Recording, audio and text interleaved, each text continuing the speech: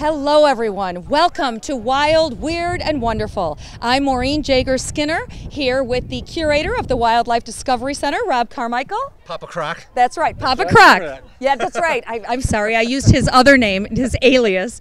Uh, tell us who your pal is here today. We got Maximus. Oh, he's showing off now. Maximus is a saltwater crocodile that lives right here at the Wildlife Discovery Center along with four other species. And today we're celebrating crocodiles. That's what we're all about, Croctoberfest. That is what very interesting that Rob mentioned crocodiles. No surprise because we are at the fourth annual Croctoberfest here at the Wildlife Discovery Center. It happens every October. Today you get to watch it on TV, but next year you can come in person because we'll be back. Just like Arnold Schwarzenegger. so, uh, this is our fourth annual Croctoberfest, and we have a huge crowd. Isn't this fun, guys? They are having a blast. These guests are going to show us a few of the things they've learned today as we wander around. Um, don't be too scared, guys. This crocodile's not real, but we do have lots of real ones in here. so, Rob is going to tell us a little bit about what we have to look forward to today. Well, we got a whole bunch of different things going on, especially for families. It's a very kid-friendly event. We have uh, kids' activities, scavenger hunts. We have lots of live alligators and crocodiles out on exhibit. Uh, we have a mounted crocodile down in our, our, our classrooms. We have tattoos for not just uh, Yeah. you know colored tattoos. Tattoos that go away. tattoos that go away. Uh, some special guests. Uh, we've got the garden market that's open for some great food. Uh, so there's just all kinds of things going. It's all about getting making uh, more awareness for crocodile conservation because animals like Maximus are slowly disappearing in the wild, and we Oh, want people to know how right. important they are for humans and for the environment too. Right, right. And it's so cool that we have this right here in our community in Lake Forest, this great event. It gets bigger every year, doesn't It it? does. You know, we'll probably have I don't know. We might have four or five hundred people today, maybe more. Yep. Uh, so every year we try and make some improvements, and like I said, make it just a really fun event for families and kids and everyone else. We have some sponsors who we'll mention real quickly. We've got, uh, it says thanks to our sponsors. Uh, we have Knauz Auto Park. I have bought many a fine car there. Uh, Pasquesi's Home and Gardens. Bought many a fine uh, plant there. Sunset Foods. Many a shopping trip there. Uh, James LeDuc and Associates. Many a beautiful home in town. Ragsdale Incorporated. Many a beautiful artwork in our community. So the whole community is behind us as we celebrate Croctoberfest today. And I know what you're all thinking. Can we go in and take a look around? What do you think? Should we? Yeah! All right. We'll see you inside in a couple minutes. Here we are in a classroom where visitors are learning firsthand about all the reptiles there are to see today. So this is, tell me who you are and where you're from. I'm uh, Bobby Delaney. I'm uh, from Naperville. I'm just a volunteer here. Uh, Rob asked me to come in uh, for Croctoberfest uh, and show off my iguana Mongo. Um, he's kind of a celebrity around here, so kids really love him and enjoy petting him. What's the story behind him? Mongo is a 13 year old green iguana. Uh, he was used in children's educational programs um, up until about three years ago when the, the owner of that, that uh, educational show retired and adopted him to me. And I've been taking him to shows like this and uh, other reptile shows around the area uh, since then and showing him off, and kids love him. And Of course. so, Does the Mongo have anything to do with the fact that he's mango colored? no, actually, that came later. Just coincidence. Yeah, just okay. coincidence. Uh, let's have these kids come on up, and you guys, he, they can pet him, right? Yeah, he's very friendly. He loves being pet. He'll sit there for hours with kids petting him and touching him. Oh, look at that. What does he feel like, kids? He's rough. He's like Tell the camera. Tell the He's camera. He's like rough and bumpy. Yeah, rough He's really like he's not not as bumpy as he looks, but he's he is bumpy. He's cool. It's like I wish I had a pet like him. Yeah. I want a pet like him. And he's dressed up. Tell the camera. He, listen to what this boy has. A message for his mom. What he wants for I want a Christmas. pet like him. I'm with you. All right, we'll pass that one along to Santa. This is what these guys want for Christmas. Yeah. Of course, it is hard to uh, keep them up. So we're, we're kind of kidding because actually these are hard to uh, take care of. Iguanas, uh, so even though they're found easily in a lot of pet stores and they're really cute and cuddly when they're little, uh, they they're a lot of work. It's like having a puppy for almost 10 years. A lot of maintenance, a lot of care, a lot of attention. So it takes a lot to get them to be like this. So And a special owner like you. yeah, I wouldn't recommend it as a beginner a beginner pet. You've got another pal over here. What do you think of this, kids? Tell us a little bit about this guy while the kids uh, get introduced to him. Sure, this is a Taiwanese beauty snake. It's a form of rat snake, and uh, They're uh, yeah, they're just a, a unique uh, unique kind of snake that you don't find around here in the pet trade. Um, that uh, when I saw it was you know fell in love with it. So they're very So here he. How how old and uh, does he have a name? Did you say? This one doesn't. I don't. I haven't uh, come up with a name yet for him. What do you guys suggest for him? Bob. Okay. Just like me, I can go with that. There, there you go. Steve. Steve. Like Steve Irwin in honor of Steve Irwin. you. Joe. Okay, Joe. oh, right, right. Now, what does he feel like, kids? Well, my dad would be freaked out right now. Like, like, like, like, he feels bumpy a little. Yeah, he, he feels he's slimy, but he's not. Yeah. He's thick. He kind of And he's, he seems like he would be mean, but he's not. He's really large too. He's the really bottom looks so much different than the top. it's like a the pattern Yeah. on the bottom looks it's yellow. Who wants this for Christmas? My dad. It's gonna. Uh, kids are asking if they're going to be on the news. We're all going to be on a TV show on our local channel and on YouTube, so you'll have to look for yourselves. Wild, weird, and wonderful. Isn't that a perfect name for these animals? So what actually is? Let's see what else we can find. Here we have an Argus monitor. I'm not the expert to fill you in, but we are joined by the expert. Can you tell us your name and your pal? I'm Julie Tenbensel. Um, I'm local here, and this is Anubis. Um, he's a five-year-old Argus monitor. Five years old. How old is that in people terms? Um, probably, uh, no, about like maybe 40. 40? Okay. Okay. Because I'm going to live to be 100, so, you know. okay, so why don't we, we're going to take him out now so that all the uh, visitors can meet him that are waiting. Okay. This is how you handle him. That's why don't try this at home, obviously. Okay, guys. Just don't get near the face, okay? Hang on. Watch the tail. Quite a tail, isn't it? He's just holding on right now, that's all. See how long the claws are? Look at that. Those are used to burrow. Um, they burrow in the wild, they can climb trees, they run really, really fast, and they use their tail like a third leg so they can stand on their hind legs. They look over tall grass, they run down live, live prey. And they're found in what uh, climates? Australia. Australia. Yeah, northern From the outback. Yes, exactly. Northern Australia, where it's hot and dry, but they can adapt to lots of different types of, of climates and um, different areas. Ours is a perfect adjustment for him, right? Yeah, yeah, but they they live in very large enclosures and um, in captivity. Uh, they need a lot of room to move, and um, they have they, they love to swim. They have large pools and climb. How long did they have him? I've had him for five years Since he was born. since he was born. Yes.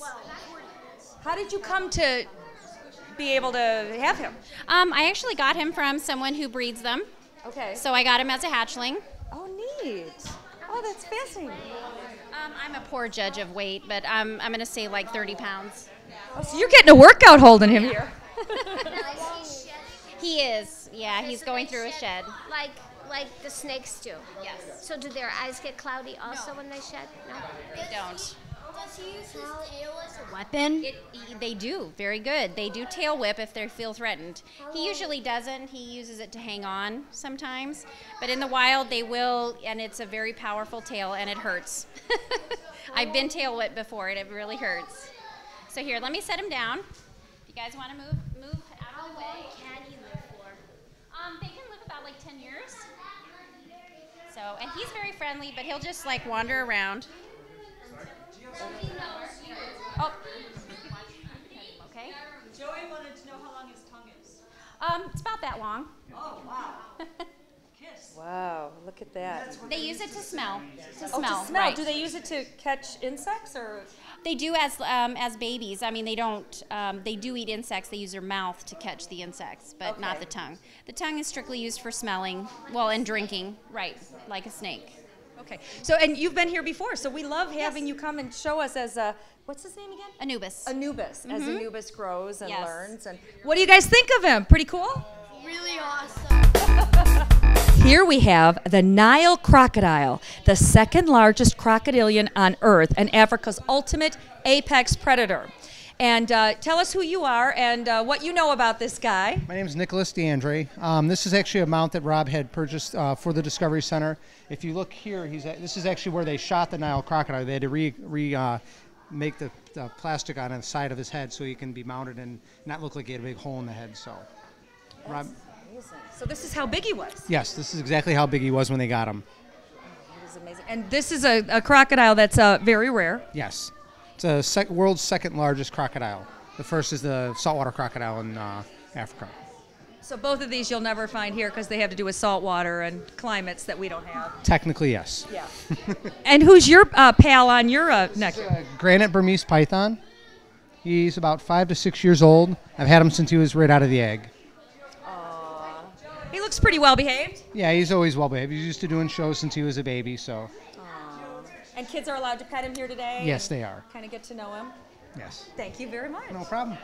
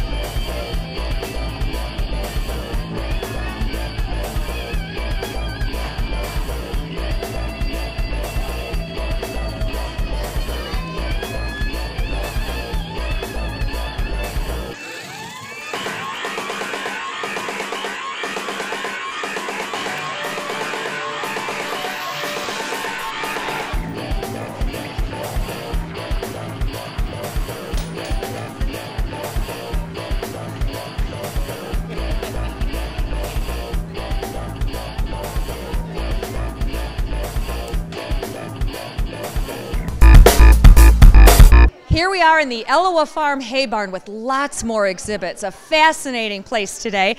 Um, I am joined by, Dan from the Herpetological Society. and tell us a little bit about your friend and what you do. This is Sobek. He's from the. Uh, he's an American alligator. He's still just a little guy right now. He's about the size of a five-year-old. They'll live just as long as we will. They'll live 50 to 75 years or more, except in Well, that. I'm living longer than, oh, or more. more, right. more, or Okay. more. It, it- just like certain people, depends on what's going on. The oldest alligator was over 100, so they Oh, can live just as long as we can. Yeah. So realistically, though, once they get to be about his size, they have no natural enemies anymore. So I mean, he's just just like every other American. Give me a beer, give me a beach, and let me relax. Oh, so he's in his retirement phase. Uh, pretty much to the point where he just doesn't care anymore. Right, right. You guys can touch him if you want to. And uh, yeah, you guys come on over and see. This is why you're here today. You get a first-hand feel. You meet these guys. tame. You know, he just he's you could just see how he can see everything like what you said. Just like doctor, everything going bring the- we're gonna bring around. the best animals to, to these shows too, because we're here for education. We're here for safety. We're not going to bring a mean, vicious, abused animal. We're going to bring nice ones because we want experiences like this. How often can you get close to an animal like this and see something like this and do something like this? I mean, you're in a zoo. You see something from 10 feet away, beyond it's 10 feet in the cage. This, if she wants to, she could count the scales on the animal and she can touch it as much as she wants and. It's a unique opportunity that we do here, you know, at the farm, at the Wildlife Discovery Center. It's an opportunity you don't get other places, which is really nice. Zainab, do you like that? Do you like it? How does it feel? Yes. It on the tummy it feels smooth, and on the back it feels kind of rough. Yeah. Very different from any pets you have at home Yeah. or that your friends have. Yeah. Uh, Will you be telling them about this? I think yeah. So you do a rescue mission, and tell us a little bit about that part. All the crocodilians that are here today are confiscations from people that had them illegally in the state of Illinois. It is illegal to buy, sell, or possess crocodilians of any type. Uh, when people have them illegally, we take them in, we do the blood work, the rehabilitation, the resocialization, and the eventual re-release back into the wild. So it's it's a labor, but it's a labor of love. How many do you have? Yeah, come on up. You guys can. That's that's why he's here. It's okay. You're okay. hmm Uh, typically, we get in between about 25 to 50 a year. um, uh, mostly out of people's homes or houses, their owner give ups. Uh, that way, the state doesn't prosecute or anything if the people give them up voluntarily. Unfortunately, some people do dump them into the wild, and then we have to actually go out there in boats and trap them and hunt them down. Because the problem is, if this animal was in your house for five years, it only knows you as the food god. It only knows you as the food giver. And then when you dump it into a river and a little kid goes fishing, it sees that kid and says, "Oh, you're supposed to me feed me, right? Right. You're supposed to feed me." So they. You know, there's a lot of other animals in zoos and stuff that you see that are brought and they're in captivity and then they go out back into their nature wild. Um, how is that with the alligator and the crocodiles? That's one of the biggest challenges we have to do is resocialization. Uh, we start them off with going in like if this guy came into the facility, first they would go through a six, uh, two month quarantine period just to make sure he's healthy, make sure everything's okay with him physically, blood work, everything else. Then he would go in with other same size animals. Just like same size, same year in school, same things like that. We'd watch and interact with each other. If he's very aggressive, we'd move in with guys a step bigger than him. Because just like putting the freshmen in with the seniors, you learn your place really fast. Uh, if he's too timid, we bring him back a, a size. So all of a sudden they have a three footer in with a bunch of two footers. Well, then he gains his self confidence and says, hey, I can eat, I can fight, I can do this. And over time, they learn how to deal with each other and interact with each other again. And the last couple months they're with us, they actually never see a human being. It's all dead drops for food and everything else because we don't want them to associate people with food anymore. So in their cage, you'd suddenly drop some food in one side. They actually have to fight over it with each other and figure out, okay, I'm getting this, I'm getting that, and then they re-release. That's why some of them learn it very quickly. We can re-release them right away. Other ones have to be with us for some time until they understand it, because some of them are just so scared and so timid because of the abuses they suffered, or some are so violent because of the abuses they suffered, that it changes. Find that maybe have been abandoned by the parents. Like, how do you guys handle? How do you handle? Up here, they don't abandon. Well, they're not native up here, so they're not going to have babies like that up here in the wild on their own. So typically in the wild, though, you want to avoid baby alligators. Uh, baby alligators make a couple different noises, and they make a chirping sound when they're little. And if you hear that chirping noise, any adult, whether it's their parent or not, will come and defend that baby. So you don't want to mess with a little baby alligator. So cute, but stay away. okay. Only visit them at Croctoberfest and Reptile Rampage. Reptile Rampage, yeah, Reptile Rampage up in uh, March. Yep. Croctoberfest here in April or October. And the Wildlife Discovery Center is always open too. They always have a whole bunch of nice exhibits up here. You can't always get this close with them, but you can still see a lot of fun stuff up here during the rest of the year. Right. And who needs Oktoberfest when we have Croctoberfest? That's right. This is much more fun. Yeah, it is. Um, now we also have some other. These are your other um, uh, uh, pets. Okay. Nile crocodile. Okay. These are alive. These are our quarter rounds right now. This is the safest way that you can get up close to some of the other species. She can look. She can look. Uh, because like this, a Nile crocodile doesn't have the temperament that an American alligator does to be held like that and everything else. So this way, it is a live animal. They go into a like they basically just relax in there. They know that they can't hurt you, you can't hurt them. But literally, she could stand here all day and count every single plate. And again, this is what we can do for some of the more aggressive animals. And she animals. has her own little version here. She Did does, and it's got its own little babies. that is so cute. What is that? Crocodile. That's right. Is that a crocodile? Is that your very own crocodile? Mm-hmm. That's very cool. It kind of best way to feels. have 'em. Yeah. best way to have That's the best way to have them. They don't belong in people's houses, apartment buildings, things like that. Unfortunately. Here we are now with an all-time favorite every year here at Croctoberfest. And tell us who you are, Jim, and who your pal is. Okay, I'm Jim Nesci with Cold Blooded Creatures. This is my friend Bubba, who's trying to turn around here. Been oh, real he's active here today. today. Yeah, he's been real active. You know what? Let me just get him because I don't want to Sure. bump. Hang on for a Sure. This is Bubba, and Jim's grabbing him for us. He's a little camera shy today, but he's a great guy. He'll probably work with us.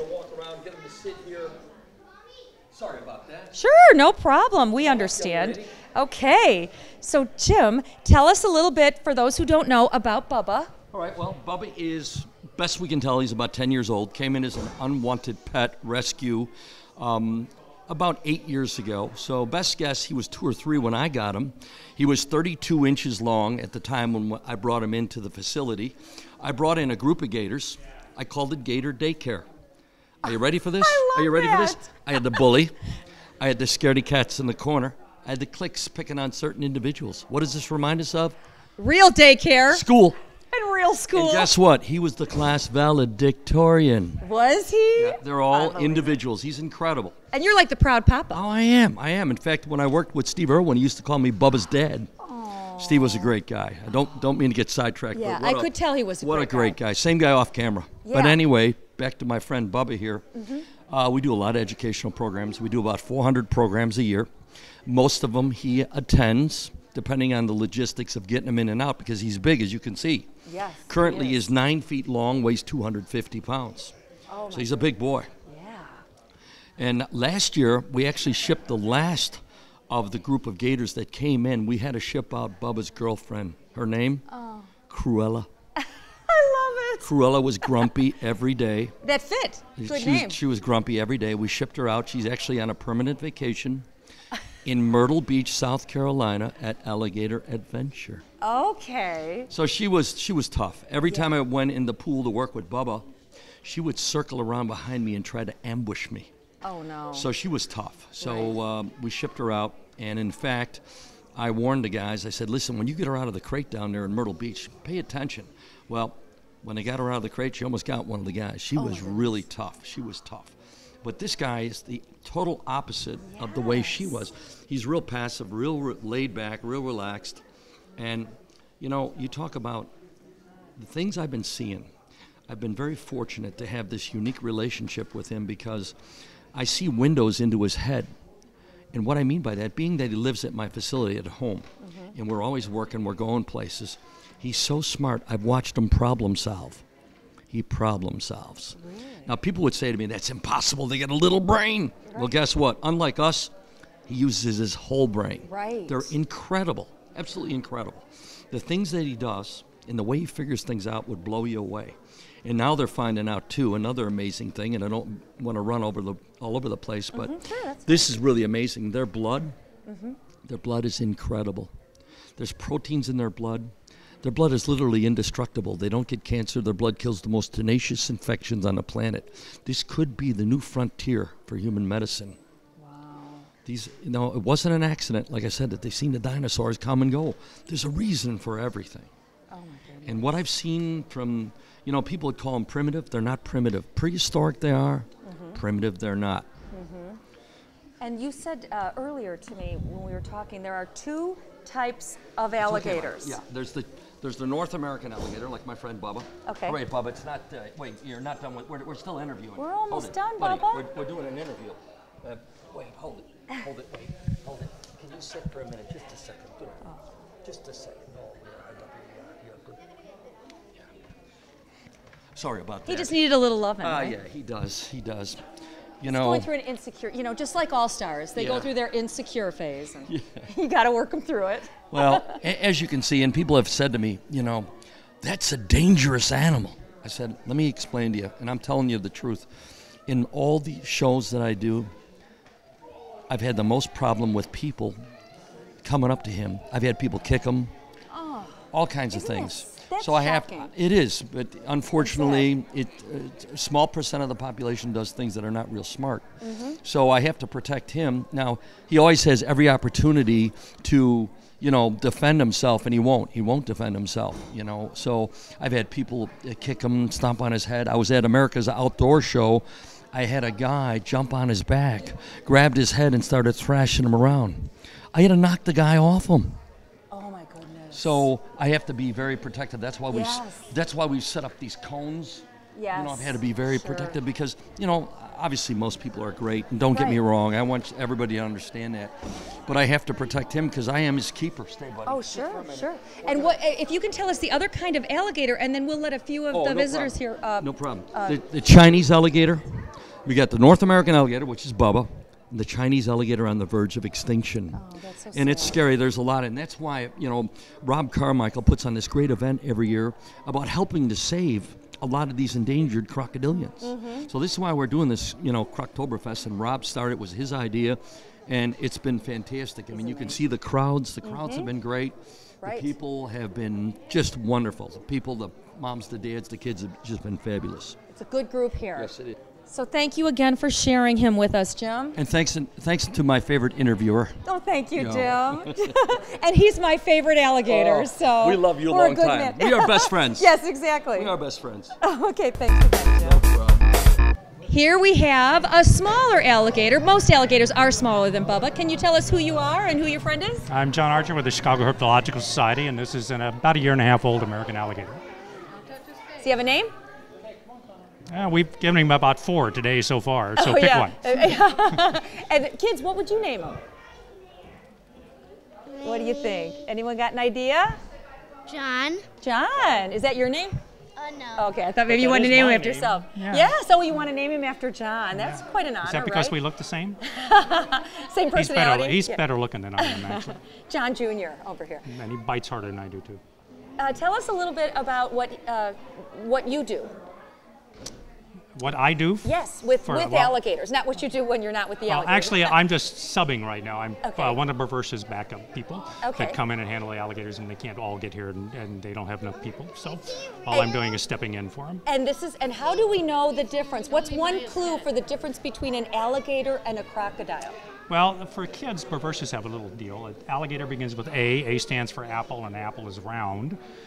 A crocodile begins with C, and C stands for carrot, and a carrot is pointy. And if you look at the top of their snouts, that alligator's snout is rounded, and if you go over there and look at that crocodile snout, it's pointy. So that's the easiest way to tell a crocodile from an alligator. And also, uh, you Don't won't near his face, see honey, okay? anyone um, holding a crocodile. Unlikely. I mean, it- there's always exceptions in biology, but very few crocodiles have this kind of temperament that they'll let you hold him for a long time. And please don't pull on his tail, okay? Be soft. You want to treat him just like you treat any, just like you want to be Your treated. own pet or yourself, right? We all like to be treated very gently and kindly, and uh, with lots of love. Are you getting a pretty good reaction from all these kids learning Oh, how kids they are always today? love these animals. Yeah, they just always fascinated with them, and they're always good because most of them are very, very nice to them. You can pet them. Yeah. You just be soft. They just have to learn. And the and the parents are loving them too. Parents like it. Parents have to bring the kids, so they got to be here. That's a clip so we can tell who he is because these animals all look alike. So we have to tag them just like they tag birds. So that's how we can tell what the animal is. Is that it? I can't read it because I don't. Thank have my you for sharing, John and John. Oh, oh you're John. very we just named him John today. We'll see next next time if that's still his name. Works for me. I'll go with it.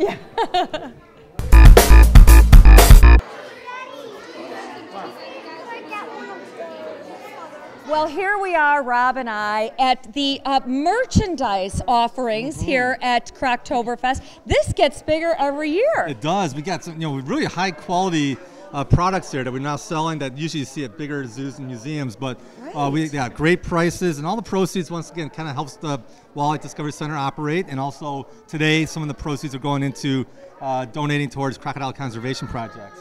And can people buy these other times of year as well? yeah, we have them here all year round, so people can come by the Wildlife Discovery Center on, on our days that we're open. Right. Uh, Tuesdays, Fridays, and Saturdays from 10 to 4, and all these products are, are here for Ah. for sale. That is so cool. As you can see, I'm wearing a few of them, and it's really improved my look, I think. Don't you, Rob? Absolutely, I Oh, like yeah. it. I like you, it. Yes. Now, uh, for all you girls out there, as you can see, I'm making a fashion statement. This matches my outfit, and you go like this.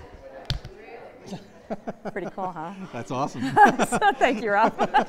so there's lots here for you to get, whether you're a boy, a mm-hmm. girl, mm-hmm. a mom, a dad. There's stuff for everybody. There's something for everyone. We've got hats and T-shirts. You know, Yeah, the cool hats. hats. like this. You know, Nice. these are official Wildlife Discovery Center field My, caps. my husband has one. He wears it when he plays golf. we have these cool posters of all the different oh, species of crocodiles around the world. Oh, You know, my goodness. Rubber toys for the for the guys. You know, these are really cool. Yeah, right. And cute furry things for the girls. You know. Right, right. And Hats for the men or women. That's right. right, Right, that's right. I think it really makes me look special. it does. so definitely come on by anytime to see this, and it'll be. We'll probably have even more next year at Croctoberfest. So. Absolutely. yeah. We got a whole new line going. coming. Yeah. A whole new line. Wow. Okay. now, Rob, um, uh, as we're wrapping up today's show, um, you're, you're getting ready to do another little um, uh, lesson here today. We are. We we have uh, one of our members from the Chicago Herpetological Society, Dan Bavirsha, is going to give a talk on their really amazing crocodile captures in the Chicago area. You wouldn't think of crocodiles being here in Chicago, but people get them as pets and they let them go and they end up in our rivers and ponds. And, and he's got some very entertaining stories to tell. Awesome. Can't wait to hear them. We'll probably take a little look at some of that. Yep. And we just want to thank um, everyone who comes out and turns out because it really goes for such a great cause. It does. You know, we're like one of the hidden gems of Lake County and certainly right here in Lake Forest, something that we can all be proud of. and this is a great event to showcase what we're all about. Okay, it'll be. Is it always the same uh, Saturday in October? Uh, no. So, Okay. so stay tuned. Uh, our our uh, webpage, um, www.wildlifediscoverycenter.org, Mm-hmm. and we'll always have updates. And also on Facebook, so join our Facebook page, and uh, we'll keep people updated. Okay, and it, it, so definitely push like. Absolutely. Hit the like, and uh, we'll, you'll get all the information you need. And uh, this is always on a Saturday in October, Mm-hmm. and I think it's a much better event than Oktoberfest because you feel a lot better afterwards. You're saving crocodiles. Right, and you're saving crocodiles. Yeah, it's a much better cause, and you don't have to drink beer.